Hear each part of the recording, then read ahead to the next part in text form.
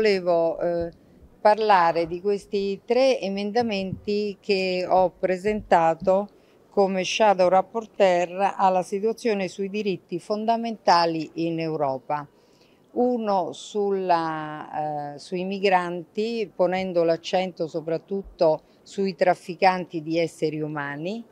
uno per quanto riguarda il capitolo sociale ed economia sul period poverty, vi ricordate eh, quello che abbiamo detto sulla um, povertà che incide durante la fase fertile della donna per quanto riguarda i dispositivi sanitari e quindi si chiede l'azzeramento dell'IVA su questi prodotti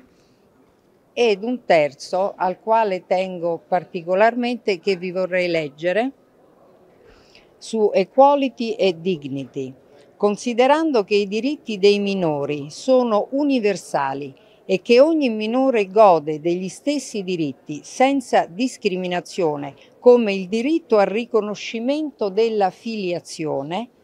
esorta gli Stati membri a registrare gli atti di nascita indipendentemente dal modo in cui il figlio è stato concepito o è nato e dal tipo di famiglia da cui proviene, sia esso figlio di un genitore unico, di una coppia di fatto, di una coppia sposata o di una coppia che ha contratto un'unione registrata ivi compreso il figlio con due genitori dello stesso sesso o adottato a livello nazionale in uno Stato membro da uno o due genitori. Perché? perché il diritto alla filiazione, quindi allo status del bambino nato, è un diritto universale imprescindibile a prescindere dal nucleo familiare che ti genera. Quindi a, a,